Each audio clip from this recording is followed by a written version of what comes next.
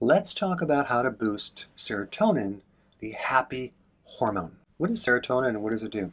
Well, it's a hormone. A hormone is a communication that travels through the body. And serotonin is made by your brain, it's made by your gut, and it contributes to feelings of happiness. It helps raise your mood, it helps make you calm, it decreases cravings for carbs, it helps you focus, and it reduces anxiety. Now, if you're deficient in serotonin, your mood might be suppressed, okay? You may have depression, you may have anxiety, you may be irritable, you may even have a worsened self-esteem, sleeping problems, and even memory loss. So, what can you do to boost your serotonin? Number one, L-tryptophan. It's an amino acid, non-toxic.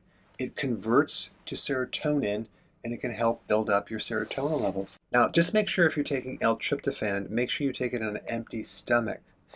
L-tryptophan also helps you with sleep, so I would recommend taking it right before you go to bed on an empty stomach because if you take it with protein, the other protein will compete with the tryptophan and it won't go in, so it'll be kind of like a waste of taking tryptophan. Number two, exercise. Exercise helps the conversion going from tryptophan to serotonin. Okay.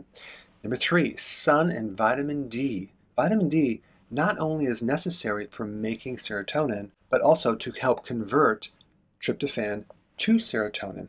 And this is probably why vitamin D has antidepressive uh, properties. All right, number four, probiotics. Well, your gut makes serotonin, a lot of it. And there's a huge relationship between what's going on in your gut and what's going on in your head.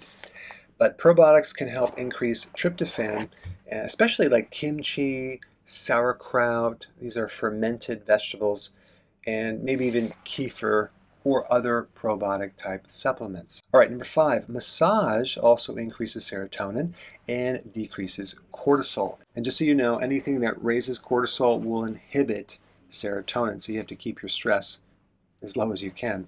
All right, number six, surprise, fasting. Fasting significantly increases serotonin.